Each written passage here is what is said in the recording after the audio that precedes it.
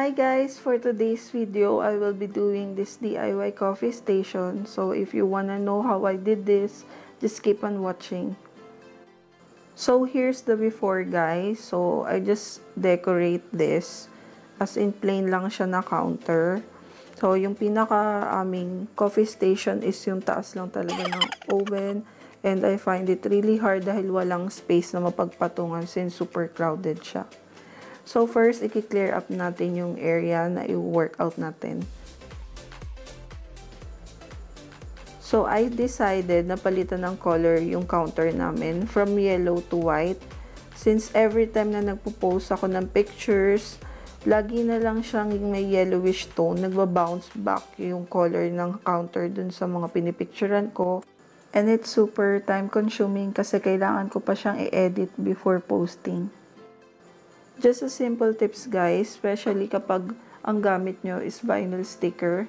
I-fill up nyo lang yung taas and slowly, gradually, i-work nyo yung way nyo pababa dun sa area. Kasi sobrang hirap niya since manipis yung vinyl na nabili ko.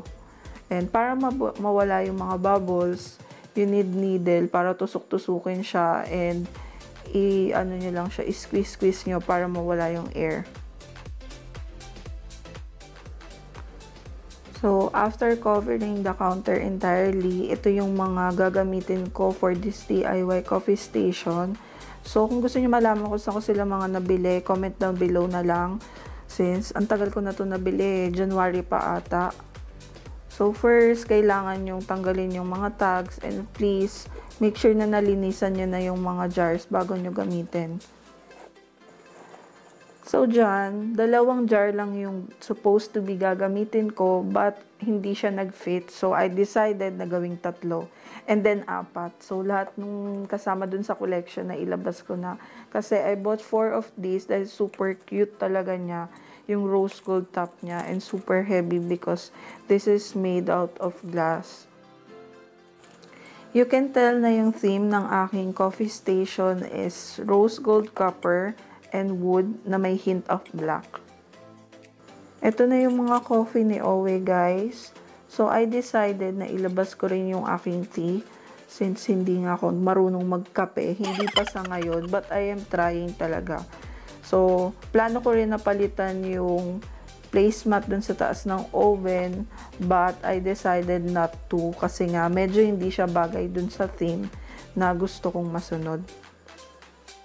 And again, I decided not to put this PG decaf tea dahil hindi siya bagay dun sa theme. Instead, I put this mint black tea. Anything for the aesthetic, guys. As all you know, may pagka-OC talaga ako and I can help it. So, I got this from Shopee. Copper cup ata yung tawag sa kanya. And I also got this ano, glass straw. Gusto ko siya kasi mabilis makita kapag may nakabara or may dumi or may amag yung loob. And this chopping board is so cute. I end up not using this dahil mas bet ko nga siya dito sa coffee station na gagawin ko. Just a short story guys about this cup. So ginamit to ni Owen, nagtimpla siya ng kape na mainit guys. And pagkagising ko sabi niya sa akin, di daw pwedeng pagtimpla ng kape to kasi pati yung hawakan na init, Diyos ko. This is the placemat that I supposed to use but I end up using this rugged and super abused na placemat since hindi nga, ko nga siya bet dun sa theme. So, almost 5 years na ata sa amin tong placemat na to but I super love this still. Now it's time for us to put some decoration since medyo empty yung space sa taas. So, I got this sign, coffee sign 3-4 years ago, sobrang tagal na and super perfect siya dito. So, ibinalik ko na lang siya ulit. And I bought this last year ata. Oo, nasira ko na nga siya eh, kasi nakapatong siya before dyan sa taas ng oven and nagamit ko yung oven without removing this. Ayun, nagbend yung ilalim and I tried to straighten up. Ayun, mas lalong nasira. Here's the outcome guys. We're super happy dun sa kinalabasan ng DIY coffee station na to. Since marami ng space na mapagpapatungan ng mga cups, mugs, and kapag nagtitimpla ng kape, hindi na ganun ka-crowded. Ayun naman yung pinaka-importante when you're doing or recreating a space. It should be more useful than before.